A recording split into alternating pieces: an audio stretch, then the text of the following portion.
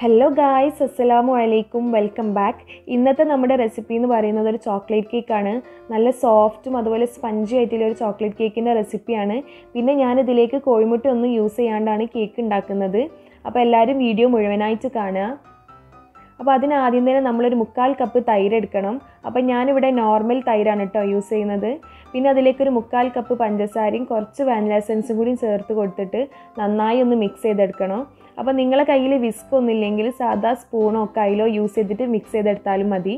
പഞ്ചസാര അലി അലിയുന്നത് വരെയാണ് നമ്മളിത് മിക്സ് ചെയ്തെടുക്കേണ്ടത് കേട്ടോ ഇനി നമ്മൾ അതിലേക്ക് ഒരു കാൽ കപ്പ് സൺഫ്ലവർ ഓയിൽ ചേർത്തിട്ടൊന്ന് മിക്സ് ചെയ്തെടുക്കുക വേറെ ഓയിലൊന്നും ചേർക്കരുത്. സൺഫ്ലവർ ഓയിൽ തന്നെ ചേർക്കാൻ ശ്രമിക്കുക ഇനി നമ്മൾ ഇതിലേക്ക് ഡ്രൈ ഇൻഗ്രീഡിയൻസ് ആണ് ആഡ് ചെയ്ത് കൊടുക്കാൻ പോകുന്നത്. അപ്പോൾ മൈദ കൊക്കോ പൗഡർ അതുപോലെ ബേക്കിംഗ് പൗഡർ ഇതാണ് നമ്മുടെ മൂന്ന് ഡ്രൈ ഇൻഗ്രീഡിയൻസ് അതൊക്കെ ഒന്ന് തരിച്ചിട്ട് വേണം നമ്മൾ ഈ വെറ്റ് ഇൻഗ്രീഡിയൻസിലേക്ക് ആഡ് ചെയ്ത് കൊടുക്കാൻ. ഇങ്ങനെ ചെയ്യുന്നത് കട്ടകളൊന്നും ഇല്ലാണ്ട് കിട്ടാൻ വേണ്ടിയിട്ടാണ്. അതുപോലെ നമ്മുടെ കേക്ക് നല്ല സോഫ്റ്റും ആവും.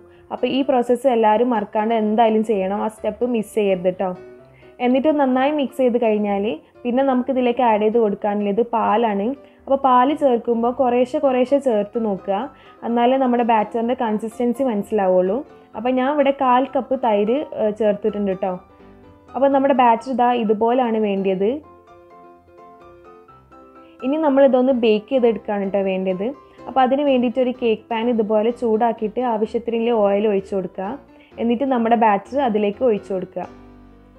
അപ്പോൾ ഇതിന്റെ കുക്കിംഗ് ടൈം ഒരു അൻപത് മുതൽ അറുപത് മിനിറ്റ് വരെ എടുക്കുന്നുണ്ട്. കോഴിമുട്ട അല്ലാത്തതുകൊണ്ടാണ് ഇങ്ങനെ വരുന്നത് ഇത്ര ടൈം എടുക്കുന്നത്. അതുപോലെ നമ്മൾ കേക്ക് ബേക്ക് ചെയ്യുമ്പോൾ ഇടയ്ക്കിടയ്ക്ക് തുറന്ന് നോക്കാതെ നിൽക്കുക തുറന്ന് നോക്കിയാൽ കേക്കിന്റെ നടുഭാഗം ഇങ്ങനെ കുഴിഞ്ഞു പോകും. ഇനി നമ്മൾ ഇതിലേക്ക് ഒരു ഫ്രോസ്റ്റിംഗ് ആണ് തയ്യാറാക്കി എടുക്കുന്നത് അതിന് വേണ്ടിയിട്ട് ഒരു പാൻ എടുക്കുക. എന്നിട്ട് അതിലേക്ക് ഒരു കാൽ കപ്പ് പാൽ ഒഴിച്ചു കൊടുക്കുക. പിന്നെ ഒരു ടേബിൾ സ്പൂൺ ബട്ടർ രണ്ട് ടേബിൾ സ്പൂൺ കോൺഫ്ലോർ കുറച്ച് കൊക്കോ പൗഡർ അതുപോലെ ചോക്ലേറ്റും ആഡ് ചെയ്ത് കൊടുക്കുക. അപ്പോൾ നിങ്ങളിൽ ഈ ചോക്ലേറ്റ് ഇല്ലെങ്കിൽ ഡാർക്ക് ചോക്ലേറ്റ് ഒന്നും ഇല്ലെങ്കിൽ സാധാ ഡയറി മിൽക്കും ആഡ് ചെയ്ത് കൊടുക്കുക. എന്നിട്ട് കുറച്ച് പഞ്ചസാരയും കൂടി മിക്സ് ആക്കിയതിന് ശേഷം നന്നായി ഒന്ന് മിക്സ് ചെയ്യുക. എന്നിട്ട് മിക്സ് ചെയ്തിട്ട് കട്ട ഒന്നും ഇല്ലയെന്ന് ഉറപ്പ് വരുത്തിയതിന് ശേഷം മാത്രം വേണം നമ്മൾ ഫ്ലെയിം ഓൺ ചെയ്യാൻ എന്നിട്ട് മീഡിയം ഫ്ലെയിമിൽ ഇട്ടിട്ടോ നന്നായി ഇളക്കി കൊടുക്കുക. അപ്പോൾ കുറച്ച് നേരം ഇളക്കി കൊടുക്കുമ്പോൾ തന്നെ നമ്മുടെ ഈ ഒരു മിക്സറിന് ഒരു ഗ്ലൈസിങ് വരും. ഇങ്ങനെ ഗ്ലൈസിങ് വന്നു കഴിഞ്ഞാൽ ഒരു രണ്ട് മൂന്ന് മിനിറ്റിനുള്ളിൽ തന്നെ നമ്മളെ മിക്സർ നന്നായി കുറുകി വരും. ഇങ്ങനെ കുറുകി വന്നു കഴിഞ്ഞാൽ പിന്നെ ഫ്ലെയിം ഓഫ് ചെയ്യാം. എന്നിട്ട് ഇതൊന്ന് കൂൾ ചെയ്യാൻ വെക്കുക. അപ്പോൾ ഇതിങ്ങനെ കൂളായി വരുമ്പോഴത്തേനും നമ്മൾ മിക്സർ കുറച്ചും കൂടി കട്ടിയായി കിട്ടും കേട്ടോ ഈ ഒരു പരിവാകുമ്പോഴാണ് നമ്മൾ ഫ്ലെയിം ഓഫ് ചെയ്യേണ്ടത്.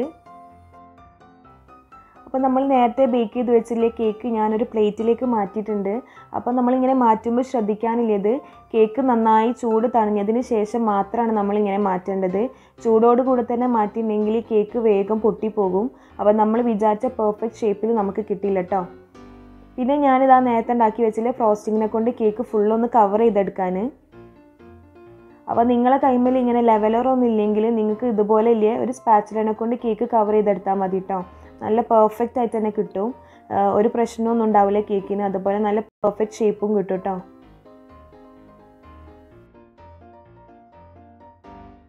പിന്നെ ഈ കേക്കിന്റെ കുക്കിംഗ് ടൈം എന്ന് പറയുന്നത് കുറച്ച് കൂടുതലാണ്. സാധാ കേക്കിനെ അപേക്ഷിച്ച് നോക്കുമ്പോൾ കാരണം എന്താണെന്ന് വെച്ചാൽ നമ്മൾ ഈ കോഴിമുട്ട ചേർത്ത് കൊടുക്കാത്തതിനെ കൊണ്ടാണ് കേട്ടോ അപ്പോൾ അതുപോലെ നമ്മൾ ഇങ്ങനത്തെ ഫ്രോസ്റ്റിംഗ് ഒക്കെ ചെയ്തെടുക്കുന്ന കേക്ക് ആണെങ്കിൽ കോഴിമുട്ട ചേർക്കാതെ ഉണ്ടാക്കുന്നതാണ് കൂടുതൽ ടേസ്റ്റ് ഉണ്ടാവുക.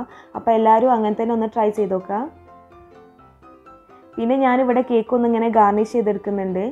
ചോക്ലേറ്റ് ജസ്റ്റ് ഒന്ന് ഇങ്ങനെ ഗ്രേറ്റ് ചെയ്തിട്ടാണ് ഇങ്ങനെ ഗാർണിഷ് ചെയ്യുന്നത്. അപ്പോൾ ഇതൊന്നും ഇങ്ങനെ തന്നെ ചെയ്യണമെന്ന് യാതൊരു നിർബന്ധമില്ല ഓരോരുത്തർ ഓരോ ആൾക്കാരെ ഇഷ്ടത്തിനനുസരിച്ചിട്ട് ചെയ്യാം. ഇതിപ്പോൾ ഞാൻ കോമ്പൗണ്ട് ചോക്ലേറ്റ് ജസ്റ്റ് ഒന്ന് ഇങ്ങനെ ഗ്രേറ്റ് ചെയ്തിട്ടാണ് ഇതിൽ ചേർത്ത് കൊടുക്കുന്നത്. അപ്പോൾ നിങ്ങളെ കൈമിൽ ഇതില്ലെങ്കിൽ നിങ്ങൾക്ക് സാധാ ഡയറി മിൽക്ക് യൂസ് ചെയ്താലും മതി കേട്ടോ പിന്നെ ഫ്രോസ്റ്റിങ്ങിനെ പറ്റി പറയുകയാണെങ്കിൽ നിങ്ങളെ കയ്യിൽ ഡാർക്ക് ചോക്ലേറ്റ് ഒന്നും ഇല്ലെങ്കിൽ സാധാ പോലെ പാലിൽ കുറച്ച് കൊക്കോ പൗഡർ മിക്സ് ആക്കുക. എന്നിട്ട് അതിലേക്ക് പഞ്ചസാരയും അതുപോലെ കോൺഫ്ലോർ ഇട്ട് കൊടുത്തിട്ടും നമുക്ക് ഈ കേക്കിന്റെ ഫ്രോസ്റ്റിംഗ് തയ്യാറാക്കിയെടുക്കാം കേട്ടോ പിന്നെ നമ്മൾ ഈ കേക്ക് കട്ട് ചെയ്യുന്നതിന് മുന്നായിട്ട് ഒരു അര മണിക്കൂർ ഫ്രിഡ്ജിൽ സൂക്ഷിക്കുക. എന്നിട്ട് ജസ്റ്റ് ഒന്ന് എല്ലതും സെറ്റ് ആയതിനു ശേഷം മാത്രം കട്ട് ചെയ്തെടുക്കുക. എന്നാൽ നമ്മളെ കേക്ക് നല്ല പെർഫെക്റ്റ് ആയിട്ട് നമുക്ക് കട്ട് ചെയ്തെടുക്കാൻ പറ്റും. അപ്പോൾ അതാ നമുക്കിത് കട്ട് ചെയ്യുമ്പോൾ തന്നെ മനസ്സിലാവും എത്ര സോഫ്റ്റാണ് കേക്ക് എന്നുള്ളത്. നല്ല സോഫ്റ്റും അതുപോലെ നല്ല ടേസ്റ്റുള്ള ഒരു കേക്കാണ് നമ്മൾ ഷോപ്പിൽ നിന്നൊക്കെ വാങ്ങുന്ന സെയിം ടേസ്റ്റ് തന്നെയാണ്. അപ്പോൾ എല്ലാവരും ഈ റെസിപ്പി ഇങ്ങനെ തന്നെ ട്രൈ ചെയ്ത് നോക്കുക. താങ്ക്